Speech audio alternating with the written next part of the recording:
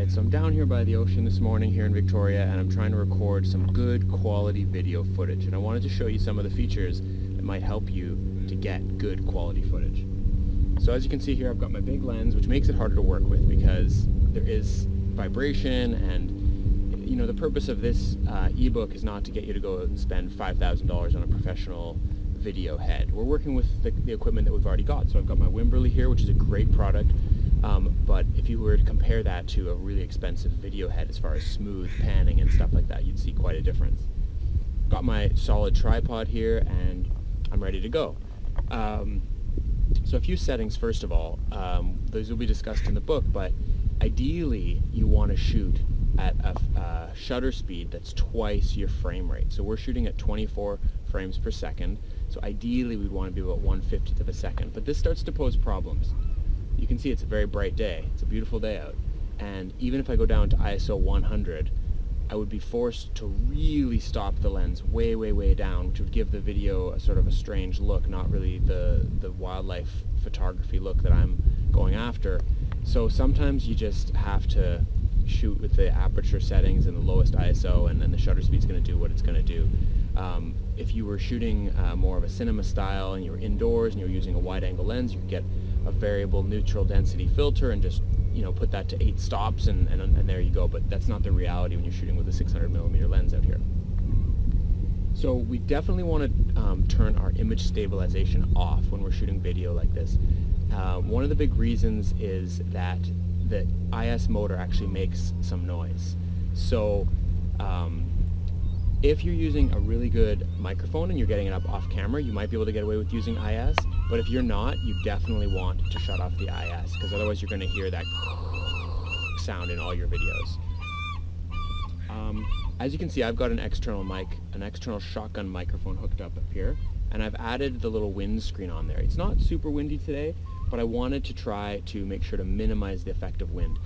As I've mentioned in the book, getting really good audio is often the hardest part of taking a good video um, because you have so much background. Like a helicopter just went by a minute ago. I had to wait before I could shoot.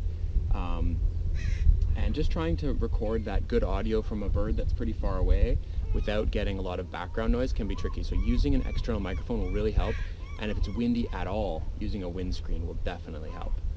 Other than that, it's just um, a question of finding my subject, getting my tripod good and stable, ideally fairly level, and then once I get on the subject, if he's fairly stationary, locking down the tripod and getting your hands off the camera, and that'll give you a really good quality clip.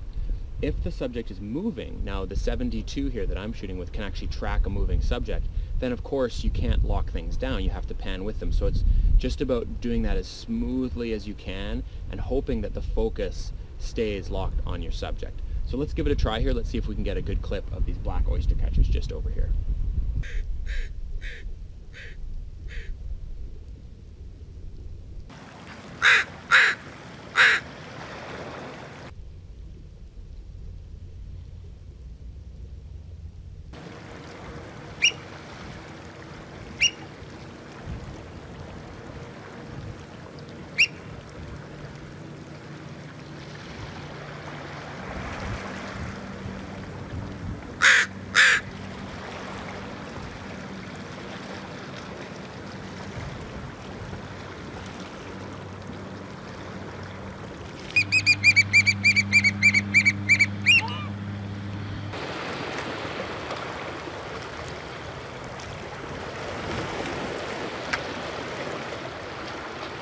So when it comes to video settings when you're in the field, generally speaking, I think you're going to want to record at 24 frames per second or as close as your camera lets you. That's sort of what our eye looks natural to our eye.